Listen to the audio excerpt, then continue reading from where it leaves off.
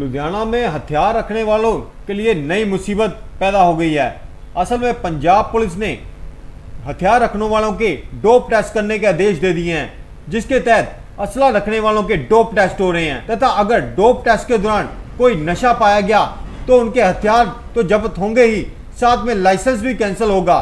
उधर बताया जाता है कि इस संबंध में आने वाली रिपोर्ट में 70 प्रतिशत हथियार रखने वालों के टेस्ट फेल हो चुके हैं। तथा 30 से 35 फीसदी रिपोर्ट सही आई है उधर पुलिस अब जल्दी ही इस मामले में कार्रवाई करने जा रही है बताया जाता है कि जो नए अवेदक होंगे उनके भी लाइसेंस बनने से पहले डोप टेस्ट होंगे इस पूरे मामले को लेकर आइए देखते हैं ये स्पेशल रिपोर्ट ਹੋਇਆ ਇਹ ਹੈ ਜੀ ਅਸਲਾ ਲਾਇਸੈਂਸ ਦਾ ਜਿਹੜਾ ਡੋਪ ਟੈਸਟ ਹੈ ਨਾ ਉਹਦੇ ਵਾਸਤੇ ਸਿਵਲ ਹਸਪਤਾਲ ਆਏ ਆਂਗੇ ਹਰ ਮੰਗਲਵਾਰ ਤੇ ਵੀਰਵਾਰ ਆਉਨੇ ਆਂਗੇ ਇੱਥੇ ਲਾਈਨ 'ਚ ਖੜ ਕੇ ਮੁੜ ਜਾਂਦੇ ਆ ਕੋਈ ਡੇਟ ਨਹੀਂ ਦਿੰਦੇ ਵੀ ਸਾਨੂੰ ਡੇਟ ਹੀ ਦੇ ਦੇਣ ਵੀ ਆਹ ਡੇਟ ਨੂੰ ਆ ਜਾਓ। ਸਾਰੇ ਪਹਿਲਾਂ 150 200 ਬੰਦਾ ਸੀਗਾ, ਹੁਣ ਥੋੜੇ ਜਿਹਾ ਅੱਜ ਘੱਟ ਆਏ ਨੇਗੇ। ਅਗਲੀ ਵਾਰ ਜ਼ਿਆਦਾ ਨੇ ਕਿ ਵੀ ਸਾਨੂੰ ਹੈਰਾਨ ਕਿਉਂ ਕਰਿਆ ਜਾ ਰਿਹਾ ਹੈ? ਵੀ ਸਾਨੂੰ, ਹਾਂ, ਸਾਨੂੰ ਆਪਣਾ ਦਿਨ ਤਰੀਕ ਦੇਣ, ਉਸ ਤੇ ਆ ਕੇ ਡੋਪ ਟੈਸਟ ਕਰਾ ਦੇਾਂਗੇ ਮੰਗ ਤਾਂ ਇਹੀ ਹੈ ਵੀ ਡੋਪ ਟੈਸਟ ਲਈ ਡੇਟ ਦੇਣ, ਸਾਨੂੰ ਤਰੀਕ ਦੇ ਦੇਣ, ਵੀ ਕਿਹੜੇ ਆ ਤਰੀਕ ਨੂੰ ਆ ਜਿਓ ਬਈ, ਪਰਚੀ ਕੱਟੀ ਜਾਵੇ। ਤੇ ਉਸ ਤਰੀਕ ਤੇ ਹੈ ਹੋ ਜਾਵੇ ਸਾਡਾ ਕੰਮ ਹੋ ਜੇ ਡੋਪ ਟੈਸਟ ਨਹੀਂ ਨੈਵਰ ਪਹਿਲੀ ਵਾਰੀ। ਕਹਿੰਦਾ ਪਤਾ ਨਹੀਂ ਡੌਪ ਟੈਸਟ ਹੁੰਦਾ ਕੀ ਪਹਿਲੀ ਵਾਰੀ ਆਇਆ ਪਤਾ ਲੱਗਾ ਡੌਪ ਟੈਸਟ ਇਦਾਂ ਹੁੰਦਾ। ਕਿਵੇਂ ਲੈਂਦੇ ਹੋ ਤੁਸੀਂ? ਡਾਕਟਰ ਟੈਸਟ ਕਰਵਾਉਣਾ ਠੀਕ ਹੈ? ਕਰਾ ਲੈਣ ਕੋਈ ਦਿੱਕਤ ਨਹੀਂ ਪਰ ਸਿਸਟਮ ਨਹੀਂ ਹੈ ਨਾ ਇੱਥੇ। ਇਹ ਤਰੀਕਾ ਇਹਨਾਂ ਦਾ ਲੈਣ ਦਾ ਤਰੀਕਾ ਗਲਤ ਹੈ।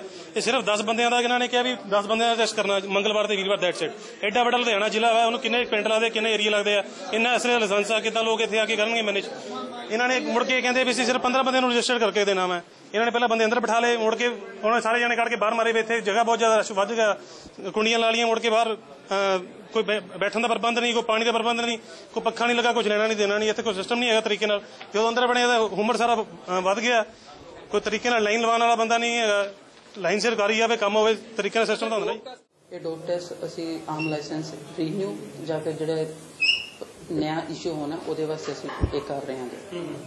ਕਿੰਨੇ ਕੁ ਹੁਣ ਤੱਕ ਆ ਗਏ ਹੈ? ਕੀ ਕੀ ਫਾਰਮੈਲਿਟੀ ਹੈ? ਕਿਵੇਂ ਡੋਪ ਟੈਸਟ ਕੀਤਾ ਜਾ ਰਿਹਾ ਹੈ? ਅਸੀਂ ਹਫ਼ਤੇ ਦੇ ਦੋ ਦਿਨ ਹੀ ਡੋਪ ਟੈਸਟ ਕਰ ਰਹੇ ਹਾਂ ਮੰਗਲਵਾਰ ਤੇ ਵੀਰਵਾਰ।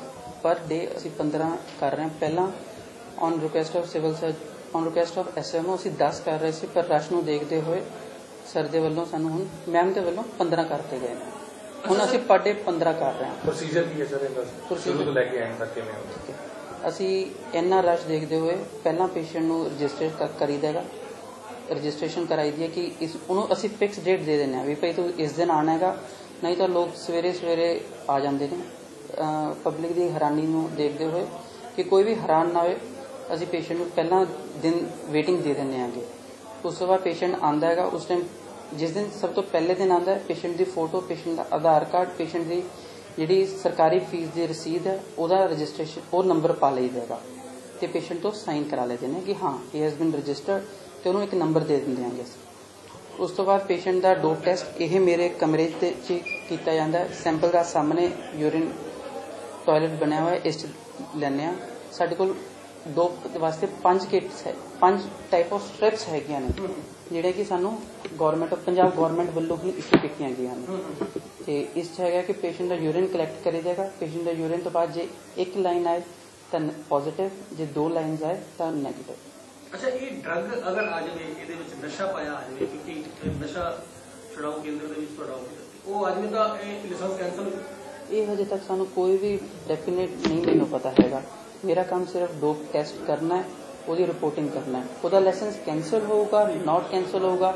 ਇਹ ਅਸੀਂ ਲਾਇਸੈਂਸਿੰਗ ਅਥਾਰਟੀ ਨਹੀਂ ਹੈਗੀ। ਇਹ ਲਾਇਸੈਂਸਿੰਗ ਅਥਾਰਟੀ ਹੀ ਦੱਸੂਗੀ ਕਿ ਇਹਦਾ ਲਾਇਸੈਂਸ ਕੀ ਕਰਨਾ। ਹੈ ਫਾਈਲਾਂ ਤੁਸੀਂ ਕਿੱਥੇ ਜਮ੍ਹਾਂ ਕਰਵਾਉਣੀ ਹੈ ਅਸੀਂ ਕਿਤੇ ਕੋਈ ਫਾਈਲ ਜਮ੍ਹਾਂ ਨਹੀਂ ਕਰਵਾਉਣੀ ਅਸੀਂ ਸਿੰਪਲੀ ਪੇਸ਼ੈਂਟ ਨੂੰ ਟੈਸਟ ਕਰਕੇ ਰਿਪੋਰਟ ਕਰਕੇ ਫਾਈਲ ਪੇਸ਼ੈਂਟ ਨੂੰ ਹੀ ਸਬਮਿਟ ਕਰ ਦੇਣੀ ਹੈ। ਕਿਉਂਕਿ ਉਸ ਤੋਂ ਬਾਅਦ ਪੇਸ਼ੈਂਟ ਨੇ ਮੈਡੀਸਨ ਤੋਂ ਵੀ ਕਰਾਉਣਾ ਹੈ ਆਈਜ਼ ਤੋਂ ਵੀ ਕਰਾਉਣਾ ਹੈ ਆਰਥੋ ਤੋਂ ਵੀ ਕਰਾਉਣਾ ਹੈ। ਉਹ ਪੇਸ਼ੈਂਟ ਆਪਦਾ ਲੋਕਾਂ ਦਾ ਆਰੋਪ ਹੈਗਾ ਕਿ ਜਿਹੜੀ ਤਿਆਰੀਆਂ ਨਹੀਂ ਕੀਤੀਆਂ ਗਈਆਂ ਡੋਪ ਟੈਸਟ ਸ਼ੁਰੂ ਕਰਨ ਤੋਂ ਪਹਿਲੇ ਸਿਵਲ ਹਸਪਤਾਲ ਵੱਲੋਂ। ਤੁਹਾਨੂੰ ਕੋਈ ਹਦਾਇਤਾਂ ਸੀਗੀਆਂ ਕਿ ਪਾਣੀ ਦੀਆਂ ਕੁਝ ਇਦਾਂ ਦੀਆਂ ਸਾਰੀਆਂ ਤਿਆਰੀਆਂ? ਨਹੀਂ ਆਪਣੇ ਕੋਲ ਦੇਖੋ ਐਟ ਪ੍ਰੈਜ਼ੈਂਟ ਪੂਰੀ ਸੁਵਿਧਾ ਹੈਗੀ ਹੈ। ਕਿਟਸ ਅਵੇਲੇਬਲ ਨੇ। ਕਿ ਕਿਸ ਤਰ੍ਹਾਂ ਦੀ ਤਿਆਰੀਆਂ ਚਾਹੁੰਦੀ ਹੈ ਪਬਲਿਕ ਕਿ ਪਬਲਿਕ ਇਹ ਚਾਹੁੰਦੀ ਸੀ ਕਿ ਉਹਨਾਂ ਨੂੰ ਜਿਵੇਂ ਕੁੰਡੀਆਂ ਲਗਾ ਕੇ ਬਾਹਰ ਖੜਾ ਕਰ ਦਿੱਤਾ। ਉਹ. ਕਹਿੰਦੇ ਸਵੇਰੇ 6 ਵਜੇ ਤੋਂ ਸਾਨੂੰ ਕਾਊਂਟਰ ਤੇ ਖੜਾ ਹੋਣ ਦਿੰਦੇ ਤੇ ਸਾਡੇ ਇੱਕ ਟੋਕਨ ਮਿਲ ਜਾਂਦੇ ਸੀ ਚਲੇ ਜਾਂਦੇ ਰਾਸ਼ੀ ਦੇਖੋ ਨਾ, ਹੁਣ ਆਪਣੀ ਜੋ ਨਾਲ ਦੀ ਨਾਲ ਆਪਾਂ, ਮੈਂ ਓਪੀਡੀ ਵੀ ਰਨ ਕਰਨੀ ਆ ਆਈਪੀਡੀ ਪੇਸ਼ੈਂਟਸ ਵੀ ਦੇਖਣੇ ਆ ਜੇਲ ਡਿਊਟੀ ਵੀ ਕਰਨੀ ਹੈ ਡਿਸੇਬਿਲਿਟੀਜ਼ ਵੀ ਕਰਨੀਆਂ ਨੇ, ਹੋਰ ਸਾਰੇ ਕੰਮ ਵੀ ਕਰਨੇ ਨੇ। ਪ੍ਰਾਇੋਰਟੀ ਰੱਖਦੇ ਹੋਏ ਪੇਸ਼ੈਂਟਸ ਨੂੰ, ਮੈਂ ਸਭ ਤੋਂ ਪਹਿਲਾਂ ਪ੍ਰਾਇੋਰਟੀ ਪੇਸ਼ੈਂਟਸ ਦੀ ਹੈ, ਉਸ ਤੋਂ ਬਾਅਦ ਡੋਪ ਟੈਸਟਿੰਗ ਦੀ ਹੈ। ਫਿਰ ਵੀ ਦੇਖੋ, ਹੁਣ ਮੈਂ ਸਵੇਰ ਦਾ 9 ਵਜੇ ਕੇ 9 ਵਜੇ ਆ ਗਿਆ ਸੀ 11:30 ਹੋ ਗਏ। ਕੁਝ ਪੇਸ਼ੈਂਟਸ ਆਂਦੇ ਹੀ ਨਹੀਂ ਹੈਗੇ। ਹੁਣ ਦੇਖੋ 11:30 ਹੋ ਗਏ 11:30 ਵੀ ਆਹ ਸੱਤਵਾਂ ਅੱਠਵਾਂ ਹੈਗਾ ਹੈ ਅੱਠਵਾਂ ਹੁਣ डोप कर रहे हैं मैं डॉप टेस्ट जो आम रूल्स हैं दो हजार सोलह उसमें कंपलसरी है जब भी कोई रिन्यूअल करवाएगा उसमें उसको डॉप टेस्ट कंपलसरी है और वो जो टेस्ट है वो सिविल हॉस्पिटल लुधियाना में किया जा रहा है अ, अगर इसमें किसी के खिलाफ पॉजिटिव आएगा तो एज पर आम रूल 2016 जो भी कार्रवाई बनती है, वो हम करेंगे। उसके अलावा जो यूआईडी नंबर है यूनिक आइडेंटिफिकेशन नंबर वो हर एक लाइसेंस के लिए कंपल्सरी है। और उसकी last date thirty first March दो हज़ार अठारह थी। उसके बाद जितने भी लाइसेंस हैं, जिनके पर यूआईडी नंबर नहीं लगा है, उन सभी के लाइसेंस जो है इनवैलिड घोषित कर दिए गए हैं। थैंक यू तो उसमें कितनी प्रोविज़न है, सजा की या कितने लोगों ने अब तक यूआईडी नंबर्स नहीं लगवाए हैं? हमारे पास तकरीबन 148 के जो है वो नहीं लगे हैं और उनमें से मैक्सिमम वही हैं जहाँ लो, लोग मैक्स- जो फॉरन रहते हैं जहाँ जिनकी डेथ हो चुकी है। इसके अलावा और कोई नहीं है। थैंक यू जिनका ग्रुप नेगेटिव है